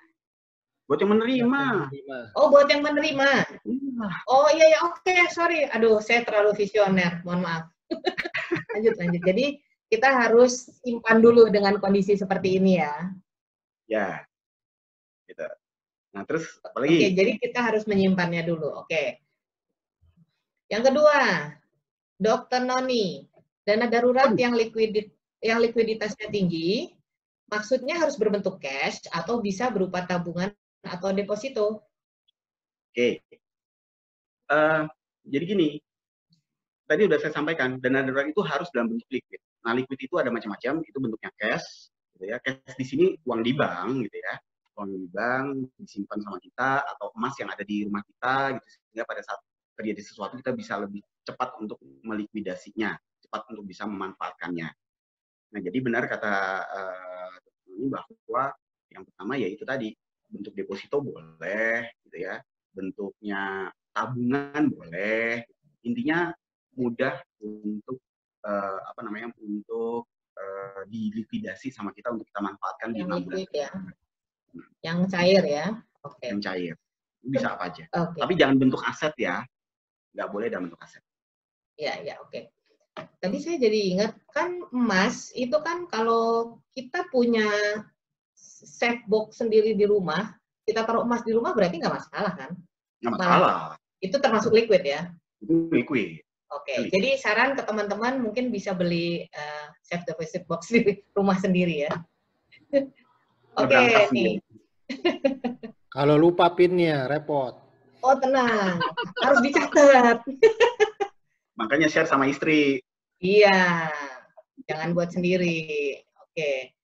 Ini apalagi ya, ada pertanyaan ya. Uh, investasi yang disarankan secara syariah apa saja selain emas dan properti? Karena saham dan reksadana menurut Ibu Dian Rosdianti termasuk riba. Bagaimana penjelasannya Pak? Oke. Okay. Uh, eh, ya, ini masih perdebatan ya kalau misal soal apa namanya uh, di saham atau di reksadana atau di obligasi gitu ya itu karena kan sebagian juga menyampaikan bahwa uh, itu masih ada ribanya tapi ada yang bilang juga itu nggak riba nah, kenapa nggak riba karena di setiap pemanfaatan uh, pemilihan sahamnya itu tentu ada dewan pengawas syariah yang bertugas di situ. DPS-nya okay. ya. Ya, jadi itu sudah ada DPS-nya di bawah DSN. Bahkan uh, salah satu manajemen investasi itu salah satu teman kita tuh dulu ada di situ, gitu ya. Terus sekarang dia mencoret investasi syariah untuk perusahaan air mineral. Hmm, kenapa tuh? Padahal air mineral, air mineral haram halal. Ah. Halal. Secara produknya halal. Hmm manajemennya. Tetapi, betul. Tetapi ternyata setelah dibedah keuangannya mereka, si perusahaan air mineral tersebut, sehingga si perusahaan investasi itu, manajemen investasi itu tidak mau lagi dia mencoret uh, pembelian saham di perusahaan air mineral tersebut. Kenapa? Karena ternyata dari income-nya si perusahaan itu, itu besar sekali dari deposito bank konvensional. Oh, maka itu tidak ya, lulus sebagai syariah. Okay. Yes. Jadi secara air mineralnya mah halal, tapi secara manajemen keuangannya nggak halal. Jadi kita coret. Siap. Terus sudah itu nih ada pertanyaan lagi dari uh, Uhti Eti. Kenapa hmm. dana darurat maksimum maksimum hanya enam kali dari pengeluaran bulanan? Mungkin karena uh, Eti mempunyai 10 kali atau 100 kali pengeluaran bulanan, dia bingung. Silakan dijawab. Oke, okay Eh, saya juga nggak bisa jauh sih sebenarnya. Kenapa? Karena itu sebuah standar internasional. Jadi dari data-data sebenarnya itu memang cukup 3 sampai 6 kali. Kenapa? Kalau lebih dari itu Oh. sayang. Sayang kalau hanya ditaruh sebagai dana darurat saja. Baiknya Mending diproduktifkan. Jadi sebaiknya diinvestasikan gitu loh. Oh, Oke. Ya, ya, ya. Ini ada pertanyaan Ustadz Sigit ini ya. Aduh. Eh, saya. bingung nguranginnya jadi 1 M ya dok? Apa sih? oh karena saya dapat 1 M, dapat angka 1 M dari mana? Tadi kan ada gerakan keluarga 1 miliar tuh. Nah, gimana Iya. tuh? jadinya? Aduh panjang ini. Oke, Eh, dapat satu panjangnya dibuat jadi 5 menit deh. Ada turunannya juga. Ada jadi menit. Intinya gini, kenapa 1 M, kenapa nggak 500 juta, kenapa nggak 10 miliar kan gitu kali ya? Nah. Itu dulu deh. Dan Jadi gini, menuju ke situnya gimana gitu loh, bisa dapetin nah 1 M-nya. menuju juga penting. Yang pertama begini, pertama begini. Eh, kenapa sih 1 M? Nah, sorry ya, mohon maaf. Saya sebagai financial planner dengan dengan terpapar oleh seluruh instrumen keuangan, gitu ya, Iya. itu berpikirnya begini, 1 M kalau ditaruh di deposito bank syariah aja, oke, itu insya Allah dapat bagi hasil itu sekitaran 5 jutaan Hmm. bagi hasil setara 5 juta. Dia akan naik turun tuh. Gitu ya. Tapi biasanya sih sekitar itu. Nah, dengan 5 juta rupiah tadi, insya Allah itu sesuai dengan UMR kita lah. Jakarta UMR Jakarta itu 4 jutaan. Kalau 5 4,8. juta saya nggak tahu. Oh, 4,8. Oh iya, udah naik ya. Oke. Ya. Sip, sip. Kalau sebelumnya 4,2. Jadi dia udah naik ke Oh, ya. 4,8. Nah, jadi satu miliar, kita punya satu miliar, kita depositoin, itu adalah income protection-nya keluarga kita. Artinya apa? Kalau Om Sigit punya pengeluaran bulanan, itu untuk keluarganya itu yang paling pentingnya misalnya 30 juta sebulan, berarti dia perlu 6 miliar. Gitu. Artinya Bro Sigit harus nabung cepet-cepet, investasi yang yang liquid, yang cepat juga dipilih yang mana nanti ada kelas berikutnya kelas investasi itu eh, yang bisa ngejar 6 miliar. Waduh. Udah lewat itu. Woi, toh. Gimana cara ngejarnya itu ya? Itu sesuai syariah juga? Eh, saya tidak memperdebatkan syariah atau enggak syariah di sini. Kenapa? Karena itu eh, perdebatan yang kalau menurut saya sudahlah itu masing-masing saja Oh, Oke, oke. Ya. Jadi instrumennya nanti macam-macam ya? macam-macam. Oke. Siap, siap. Tapi yang pasti kalau di saya Mhm. karena saya kafaah syariahnya, saya tidak belajar benar-benar dari pesantren, dari dari fakultas syariah gitu ya. Iya, iya, iya. Maka saya menempatkan diri bahwa selama di situ ada dewan pengawas syariahnya, maka itu sudah lolos dari syariah. Oke. Tapi terserah teman-teman sih. Oke, ini ada pertanyaan lagi. Eh, wah, ini kalau Dian lagi ya. Eh, buat Teddy nanti dulu ya. Ini penjelasannya definisinya panjang pasti. Nih, ada kasus, ada case income protection untuk kasus seorang bapak dengan income bulanan misalnya 10 juta dan meninggal. Jika dana darurat maksimal 6 kali pengeluaran yang sudah tersedia, bentuk passive income apalagi yang perlu disiapkan untuk lebih dari enam bulan. Asuransi jiwa aman nggak secara syariah? Pertanyaannya syariah mulu dari tadi nih. Silakan. Ya karena kan keluarga SMS, nggak apa-apa. Iya kan? Oke. Eh, Ya. kayaknya ini sesuai dengan pertanyaannya eh, pertanyaannya teman-teman sebelumnya di diskusi kita di WA dan juga sudah dijawab oleh eh, Ustadz Sigit dengan dengan mengcapture dari Ustadz Oni ya waktu itu ya. Gitu. Nah, jadi gini. Eh, benar sekali.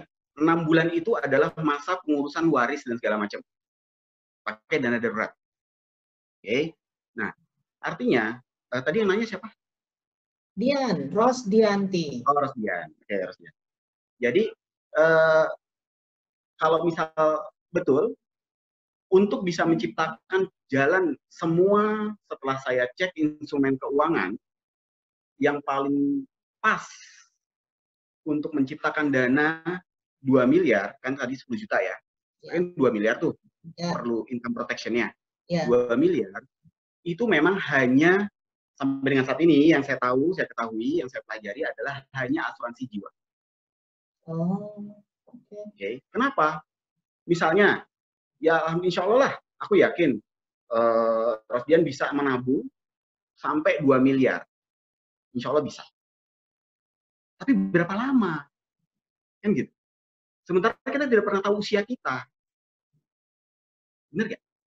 Hmm. Dengan asuransi jiwa, tentu harus yang syariah. Kalau yang diperdebatkan lagi, itu benar syariah apa kagak, gitu ya. Ya, ya. Yang pasti kalau syariah ya sudah ada DPS-nya, gitu ya. Kayak tadi tuh salah satu lembaga asuransi syariah itu yang dia mencoret dia mencoret eh, investasi di perusahaan air mineral itu asuransi syariah tuh yang dia coret, yang dia yang mencoret, gitu ya. dia nggak mau investasi di situ, nggak lolos kata dia. Oke, artinya kan sudah sangat berhati-hati, nggak cuma sekedar jualan air mineral kemudian dia investasi di situ karena bagus perusahaannya, kan nggak begitu juga, Ya. gitu ya. Nah, jadi memang eh, UP jiwa, asuransi jiwa, sehingga pada saat kita entah kapan kita nggak ada untuk usia, maka keluarga kita bisa meneruskan hidupnya dengan 2 miliar tadi. Oke. Nah, terakhir nih ada pertanyaan dari Bro Teddy. Hmm.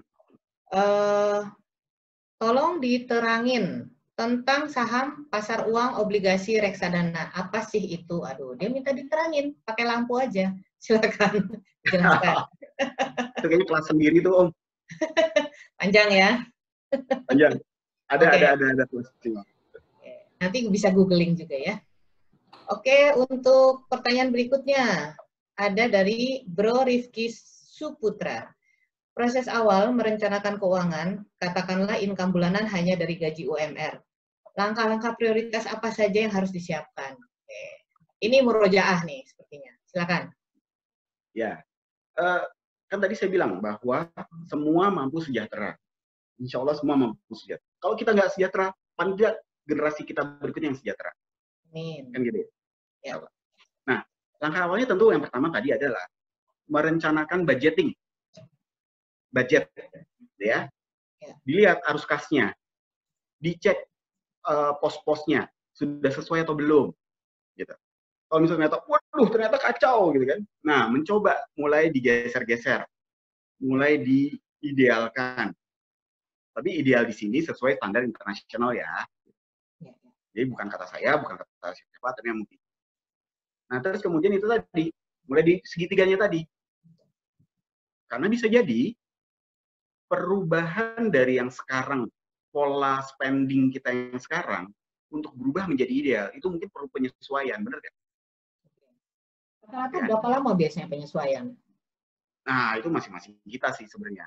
Ada yang dan tergantung ya itu tadi. Makanya perlu sebenarnya kalau kayak begitu perlu workshop, perlu one on one. Kenapa? Karena untuk menghitung, untuk melihat oh berarti sekian kecepatannya untuk kemudian bisa eh, ke arah yang ideal. Itu masing-masing beda-beda. Oh, Gitu. Nah, jadi itu tadi lah harus kasnya benerin, punya punya dana darurat jangan sampai lupa, ada protectionnya dalam bentuk apa pun itu, gitu ya. Plus investasi dan kemudian ke tujuan keuangannya dia. Oke, sip. Saya mau sedikit juga berbagi tips. Hmm. Eh, biasanya saya tuh, eh, terutama pada saat lagi tidak sibuk ya, saya mem- membuat laporan keuangan untuk diri saya sendiri. Jadi saya bagi-bagi berapa pengeluaran, ada logbooknya, dicatat Hmm. semua. Nah, nanti saya ada klasifikasikan bu- buat belanja, buat traveling, buat kesehatan, buat segala macam. Sehingga nanti pada saat kita ingin melakukan perencanaan, mana yang bisa kita turunin, mana yang bisa kita uh, tambah gitu kan. Nah, itu tuh sangat membantu dengan grafik dan pie chart. Mungkin itu bisa juga dilakukan sama teman-teman ya untuk perencanaan keuangan Iya, pribadi. betul. Di Excel sheet itu banyak jenis-jenis template-nya bisa kita ambil sendiri. Oke, mungkin ada lagi pertanyaan dari teman-teman? Mohon sebelum selesai, mohon beri kesempatan. Oh, Oke, silakan mungkin ada terima kasih banyak nih untuk Bro Indra untuk presentasinya mengenai perencanaan keuangan.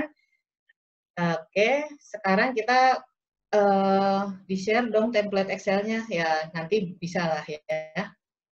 Artinya semua kembali kepada pengendalian diri. Ya, betul.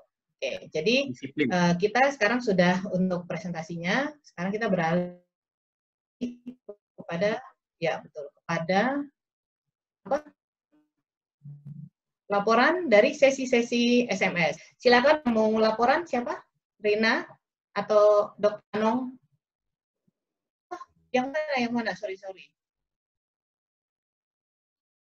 Penghasilan. Oh iya benar. Ini ini juga bagus nih. Bro ya balik lagi. Mana? PA. Pakai rumus yang mana? Utang di warung udah numpuk. Nah, saya nggak ngerti deh warungnya apa nih? Warung warung sendiri atau warung orang? Silakan. Atau Ya. eh, Putri mau bersuara sendiri di sebelahnya kan? Eh, nggak nggak jelas pertanyaannya gimana?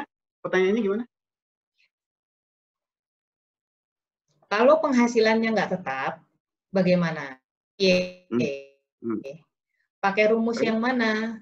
Utang di warung udah numpuk. Ya, itu aja sih, sesimpel itu. Jadi Ya. kan tadi kan soalnya eh, perumpamannya selalu yang gaji bulanan. Nah, kalau yang nggak bulanan gimana? Kembali lagi ke konsep sisih. Itu aja. Sih. Mau dia Jadi dua setengah persen sampai 10 persen. sisihkan. Kan ada pos-posnya tuh. Kan ada pos-posnya, ya kan? Yang Kan ada pos tadi ya, yang spending control ya.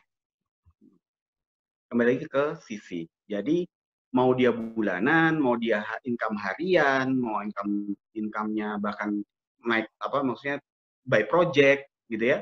Lagi-lagi ke sisi. Gitu. Memang sih saya akui seluruh perencanaan keuangan dunia itu memiliki satu kesulitan pada saat ketemu dengan klien. Apa coba? Yaitu tidak ada aset atau uang yang bisa direncanakan.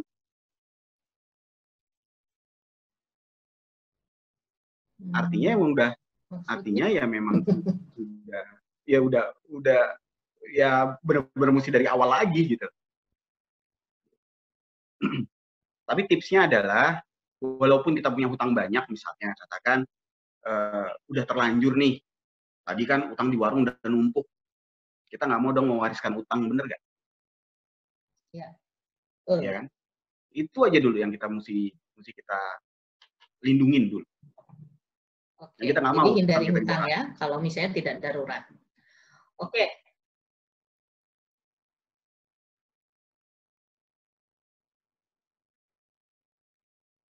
Ya.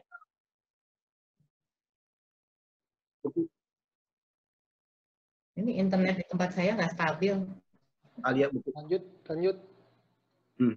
Oke, freeze ya. Oke. Jadi ini ada juga tambahan dari Ustadz Sigit. Rasulullah Shallallahu Alaihi Wasallam bersabda. Aduh, saya bahasa Indonesia aja ya. Tulisannya kecil-kecil. Alasan. Ada sejumlah orang yang membelanjakan harta Allah secara serampangan atau asal-asalan dengan cara yang tidak benar. Maka untuk mereka neraka pada hari kiamat. Hadis riwayat Bukhari Suku Musahu halaman 318. Oke. Oke, ada lagi? Silakan. Eh, terima kasih banyak, Bro Indra. Semoga udah menjawab semua ya pertanyaan teman-teman ya. Jadi kali ini eh, kita tutup sesi eh, penjelasan eh, Bro Indra. Terima kasih. Assalamualaikum. Kita Waalaikumsalam. lanjut kepada eh,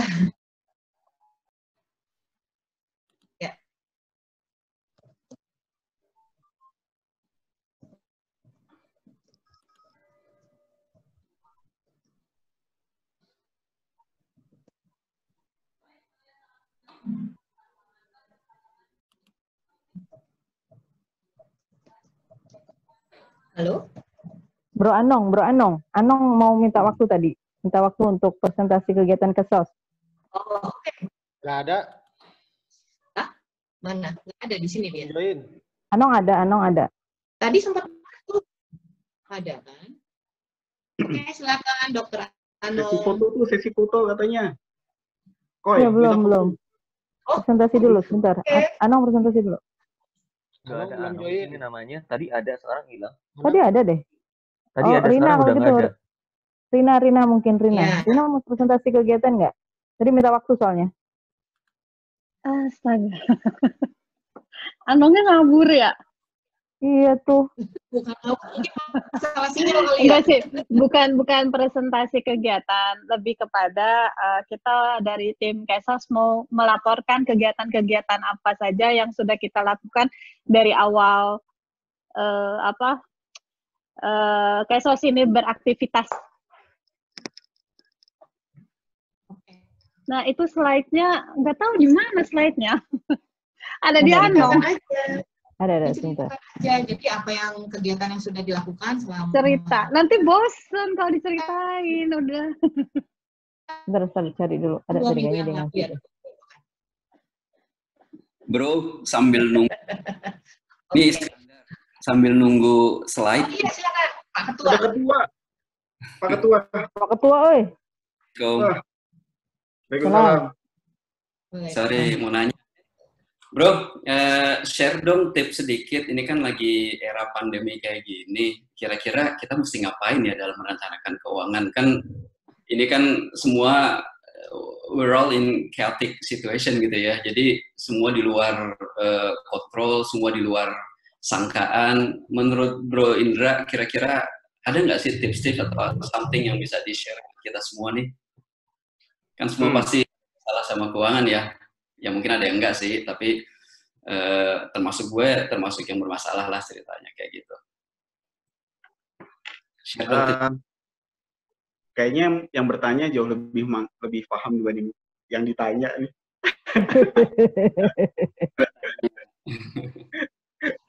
Jadi gini, ya yang pertama sekali adalah betul bahwa kejadian ini, kondisi ini memang tiba-tiba terjadi.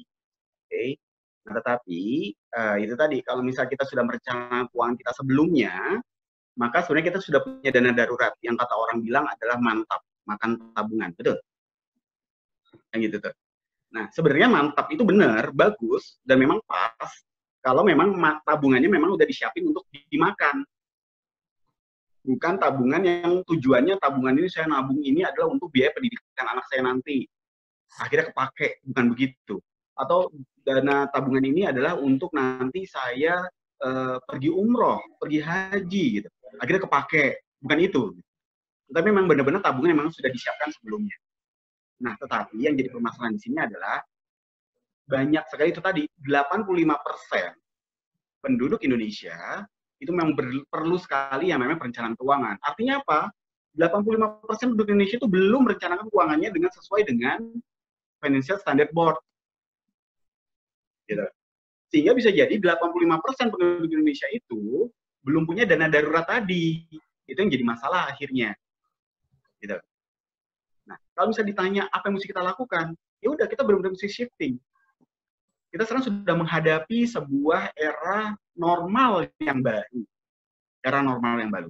Jadi gini, pada saat terakhir saya diskusi dengan pada saat terakhir diskusi dengan teman-teman alumni tempat Bro Sigit ngajar dulu tuh di Malaysia. Nah, itu eh, disampaikan begini. Mereka eh, menyampaikan hasil analisa dari McKinsey dan dari Boston Consulting Group. Menyampaikannya apa? Bahwa pertama, yang namanya borderless di tiap negara itu sudah goodbye, udah nggak ada. Gitu ya. Welcome to border. Jadi memang sudah ada eh, mulai ada pembatasan-pembatasan lagi sekarang. Kalau dulu kan eh, lalu lintas jasa dan barang kan mudah. Ya kan? Borderless. Sekarang enggak. Nah, artinya apa? Sebenarnya Indonesia itu diuntungkan. Kenapa Indonesia diuntungkan? Karena Indonesia itu kan kalau secara GDP-nya itu consumer driven. Oke. Kenapa consumer driven? Karena Y sama dengan C plus I plus G plus eh, X min M. Artinya GDP kita itu terbentuk dari consumer kita, investasi kita, government spending kita, ditambah dengan ekspor dikurangin impor. Nah, C-nya kita tuh gede banget. Karena kalau C-nya gede banget, artinya Indonesia harus memenuhi seluruh kom, apa namanya seluruh kebutuhan rakyatnya. Oke, artinya apa? Kalau barang yang selama ini masuk dari luar negeri, kemudian kita kita benar-benar hanya sebagai penonton di negara kita sendiri, maka sekarang kita dipaksa. Kenapa? Barang dari luar negeri udah nggak bisa masuk, udah susah untuk masuk. Akhirnya kita dipaksa untuk memenuhi kebutuhan hidupnya sendiri. Orang Indonesia memenuhi kebutuhan kehidupannya sendiri. Bahkan setiap keluarga mulai menanam, gitu ya. Setiap keluarga nanam deh, gitu kan. Apa artinya? Untuk self uh, defense, self apa ya, self uh, pemenuhan pemenuhan diri, semuanya begitu. Artinya itu sebuah kesempatan buat kita untuk menjadi tuan rumah di negeri kita sendiri. Ya, ada ceritanya. Jadi kata tadi dibilang apa yang mesti kita lakukan ya udah kita benar-benar mesti shifting. Shifting yang tadinya kita mesti uh, kita biasa untuk belanja apa, mulai coba untuk memenuhi diri sendiri. Kita mulai uh, bisa save uang kita. Plus, tambah lagi, ternyata di masa COVID sekarang ini, itu ada beberapa industri yang memang jatuh, tapi ada beberapa industri juga yang meningkat. Yang pertama, Naik. yang jatuh tentu misalnya restoran dan lain-lain, cafe, hospitality industry itu hancur. Kecuali yang kemudian basisnya online. Dia masih bisa meningkat. Yang meningkat itu tentu IT. Ya Zoom ini jadi orang terkaya sekarang. Terkaya nomor 4 atau nomor 5 di dunia. Ya, yang kedua, eh, Hmm. kesehatan. Dengan COVID ini orang langsung aware terhadap kesehatan dia. Nah, dan industri-industri turunannya, sanitizer, masker, APD, kemudian vitamin dan lain-lain gitu ya, itu mulai itu mulai apa namanya eh, berkembangan dan termasuk juga insurance health itu berkembang pesat.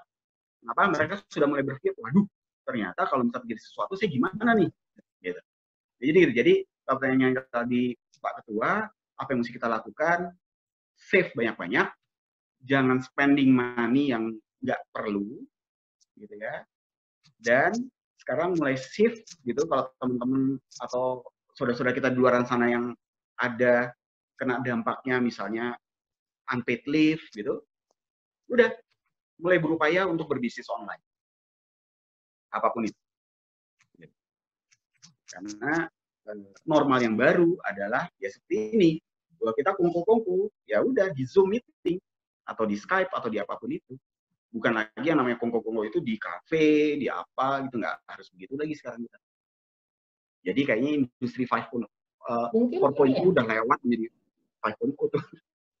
ya paling gitu aja. Mungkin juga nantinya berbasis apps juga semuanya ya, Iya, iya. biar lebih mudah diakses. Hmm. Oke, Oke, makasih. gimana Iskandar?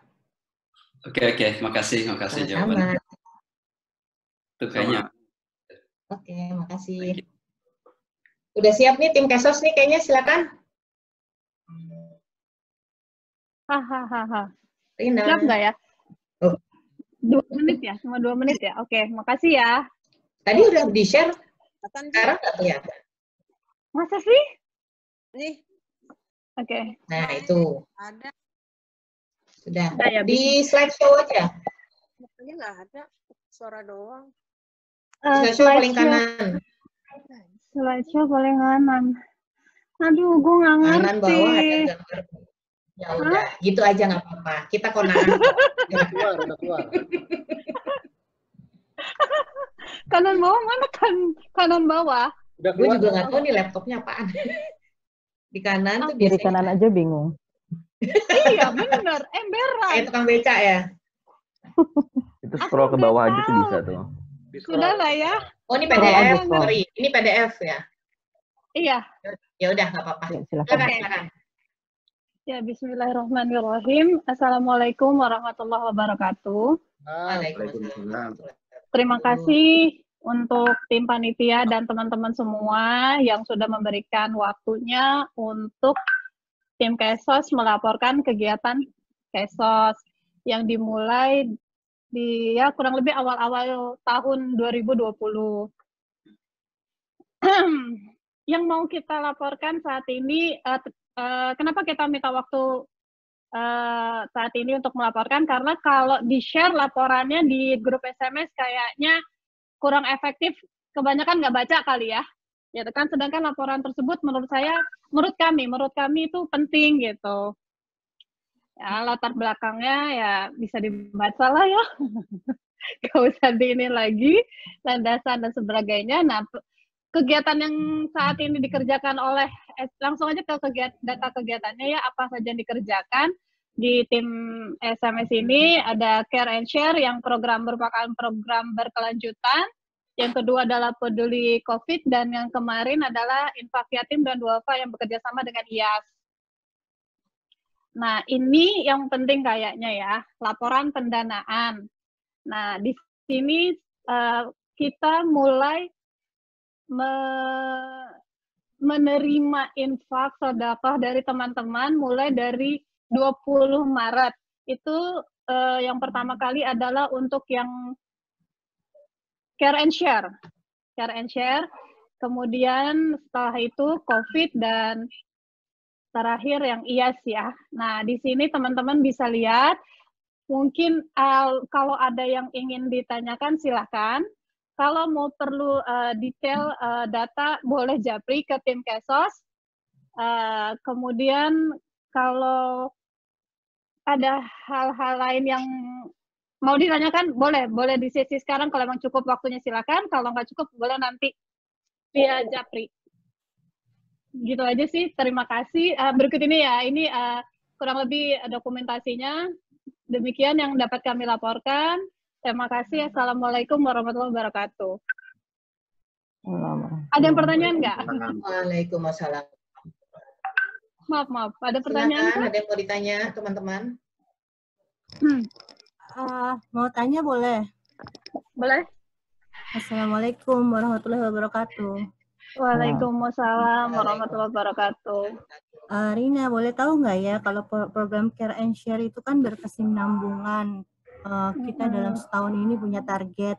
Mm -hmm. Dari target setahun kita itu kira-kira mm -hmm. uh, berapa sih yang kita udah dapat? Kalau nggak salah di di proposalnya kemarin itu kan setiap bulan 10 jutaan gitu ya. Mm -hmm. Nah, untuk mm -hmm. sekarang ini sebenarnya pencapaian kita tuh udah berapa ya? Maksudnya kita kurang berapa sih kira-kira per bulanannya itu masih donaturnya atau mungkin udah cukup untuk setahun? Karena Care and Share ini kan berkesinambungan beasiswa okay. anak yatim duafa gitu loh. Oke, okay, ya untuk awal ini kan kita uh, insya Allah mudah-mudahan bisa setahun dulu ya kita lihat sambil lihat perkembangannya bagaimana. Uh, berapa nih udah tercapai apa belum? Di situ bisa dilihat di laporan pendanaan. Penerimaan sampai saat ini adalah eh, uh, 50 sekian ya untuk care and share. Nah, kita itu butuh dana kalau ada kalau saya punya cash flow-nya, kita punya cash flow-nya, kita bisa ditunjukin cash flow-nya seperti apa. Dari cash flow itu uh, kita sudah hitungkan minimal minimal dana yang uh, bukan minimal dana, minimal kita infak yang uh, infak yang kita harapkan bisa diterima dari teman-teman semua minimal adalah sepuluh setengah juta untuk mengcover uh, sarana dan biaya pendidikan serta kesehatan teman-teman kita sampai dengan Februari. Jadi semester uh, genap berikutnya gitu. Sepuluh setengah juta per bulan. Continuously sampai Februari 2021. Saat ini oh, dari, bulannya berapa? Nggak tentu, ini? average. Nggak average tentu. ya. Okay. Uh, average mungkin 50 bagi tapi uh, sekarang Maret, Februari, eh, Maret, April ya di Januari kita dapat 24 something, di Februari di April kita dapat 22 something. Nah, kalau hmm. sekarang Gila. ini posisi di di rekening Kesos oh. itu ada tiga empat um, juta apa uh, di rekening Kesos ya, tapi belum uh, yang di dari rekening kan ada yang masuk ke rekening Kesos langsung, ada yang masuk ke rekeningnya SMS yang Indra dan Iko. Nah, dari yang in, dari SMS kan itu uh, transfer ke rekening Kesos itu dua kali dalam sebulan, setiap tanggal 15 dan tanggal uh, 29 atau 30. Nah, itu belum masuk gitu. Jadi kalau untuk yang bulan Mei ini uh, belum per tanggal hari ini belum bisa ketahuan berapa masuknya. Tapi per tanggal kemarin 8 di rekening Kesos 3, something. Jadi kalau ada yang dari teman-teman SMS memerlukan data detail ada, kita bisa japri. Tapi kalau mau perlu di, di share di SMS pun nggak masalah buat kita. Oke, nggak apa-apa. Menurut saya sih Kayak gitu, share uh, aja uh, uh, di grup ya. boleh, boleh. Oke. Detailnya Ya, oke. semua, boleh. Uh, uh, mungkin gini berarti kalau Ante lihat uh, berarti kan tadi 10 setengah program kita kan setahun mungkin sekitar 120 jutaan kita perlunya tapi sampai sekarang kan baru 51 yang masuk untuk care and share. Mungkin bisa gitu kali kita lihatnya ya 120 Iya juta kan? kurang 50 jadi kita masih kurang sekitar 70 jutaan. Tapi 70 jutaan ini tentu kan nanti setiap bulan masih akan ada donatur yang sudah uh, berkomitmen untuk memberikan donasi gitu ya Rin ya? Iya, ada yang kan kesulitannya di sini kita nggak bisa ngitungin eh, pasti donas apa donatur yang Ya, pasti karena ada yang tiap tak bulan tetap, karena ada yang ada tetap yang gitu ya. ada yang Oke. begitu ada juga yang tidak konfirmasi ke kita jadi nggak tahu itu eh, do- apa donatur tersebut mau tetap atau tidak tetap jadi di BSM itu kalau ada transfer dari BCA itu namanya nggak kelihatan ke- ke- kalau orangnya tidak konfirmasi kalau selain dari BCA itu yang masuk ke rekening ada namanya Oh, jadi kita kesu- kesulitan apa kita sudah mencoba untuk nanya ke bank BSM-nya pun juga nggak bisa. Katanya menurut mereka itu dari sananya nggak ada namanya, katanya jadi nggak bisa. Mereka pun nggak bisa ngasih tahu Oh. itu siapa pengirimnya. oh, itu gitu kesulitannya. Oke, kalau gitu tuh mungkin nanti perlu diinformasikan kali ya ke anggota SMS bahwa kalau mereka transfer dari BCA lebih baik melakukan konfirmasi gitu ya. Eh, Iya baiknya sih gitu, biar juga ada akadnya ya kan, karena ini Kan kan perlu akad juga ya. Iya, masalahnya kan bukan nih kalau Yakti kan aku baca tuh pakai kode bukan masalah bukan kode aja karena kita kan tahu walaupun itu masuk ke situ tapi dari siapa dan apakah ini tetap atau tidak tetap karena kalau tetap kan berarti kita akan kita mendapatkan gambaran setiap bulan kita bisa mendapatkan dana ini gitu kan Rin ya. Ya kurang Ah, lebih. Oke. Ya, makasih Siap. banyak Rina penjelasannya. Sama-sama. Oke, kita sudah tujuh menit menjelang eh, jam 3. Bukan menjelang berbuka ya, jadi jangan berbuka dulu. Terima Iya, kasih oke. Rina untuk eh, untuk laporannya ya. Nah, terakhir Sama-sama. sebelum kita tutup, sebelum kita tutup, saya agak delay ya di sini ya eh, sinyalnya. Saya mau membacakan yang Ustadz Sigit share di chat, diriwayatkan dalam Sahih Al-Bukhari dan Muslim dari Ibnu Abbas radhiyallahu anhu ia berkata nah, Nabi Shallallahu alaihi wasallam adalah orang yang, yang amat dermawan dan beliau lebih dermawan pada bulan Ramadan. Saat beliau ditemui Jibril untuk membacakan padanya Al-Qur'an Jibril menemui beliau setiap malam pada bulan Ramadan lalu membacakan padanya Al-Qur'an. Rasulullah Shallallahu alaihi wasallam ketika ditemui Jibril lebih dermawan dalam kebaikan daripada angin yang ya. Dan apalagi sekarang Ramadan plus sedang pandemi. Kita menghadapi ujian pandemi sehingga pada saat kita bersedekah pastinya berlipat-lipat ganda juga ya. Jadi silakan teman-teman kalau mau berinfak di kasus kita biar nggak defisit. Jadi targetnya adalah sepuluh setengah juta minimal per bulan ya. Semoga kita bisa mencapai target itu ya.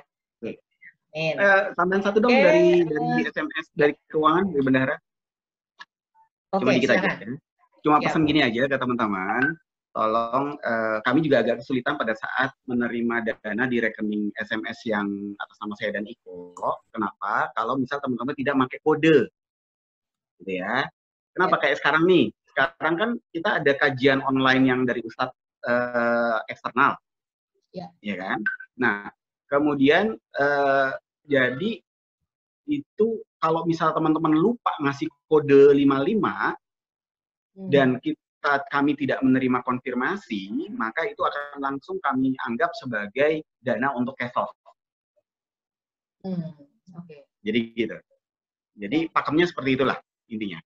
Jadi kalau misal nggak ada konfirmasi, nggak ada kode yang jelas, maka itu langsung semuanya akan kami kumpulin dan akan kami transfer di setiap tanggal itu tadi tanggal eh, 1 dan tanggal 29 eh, tanggal eh, berapa?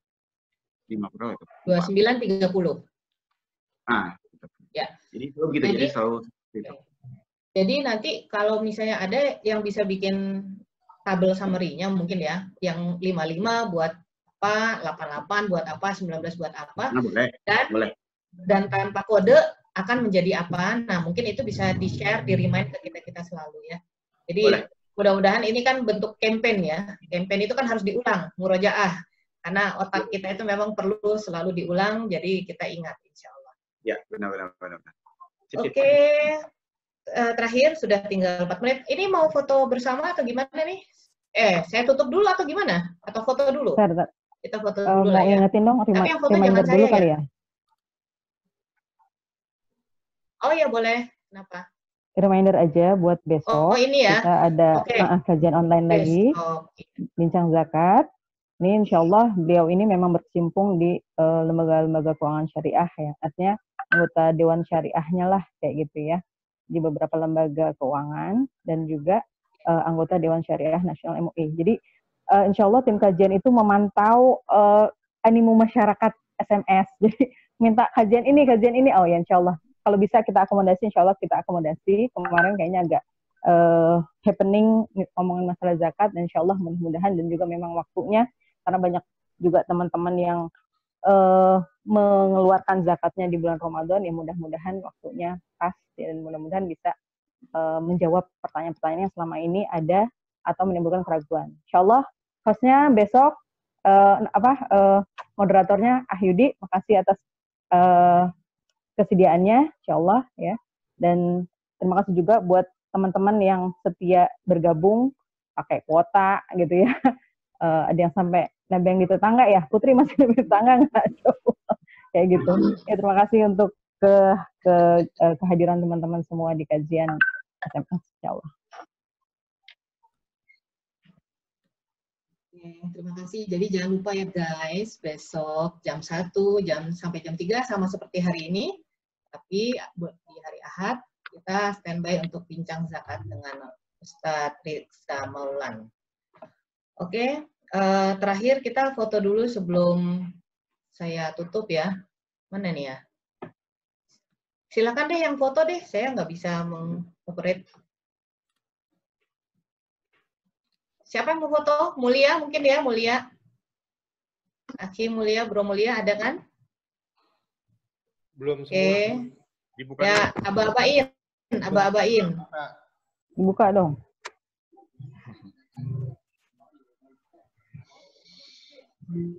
Oke. Sudah? Sudah dibuka semua? Belum. Oke, satu, dua, tiga ya. Ya, ini Nito belum dibuka. Nah, Ustadz Yudi juga. Mungkin ya udah deh, mungkin pada belum mandi ya, nggak apa-apa deh. Oke. Satu, dua, tiga. Oh belum? Oke.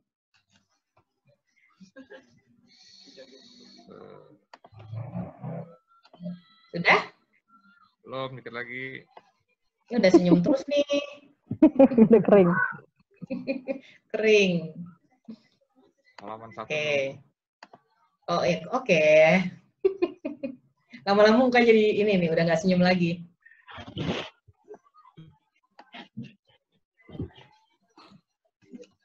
Udah?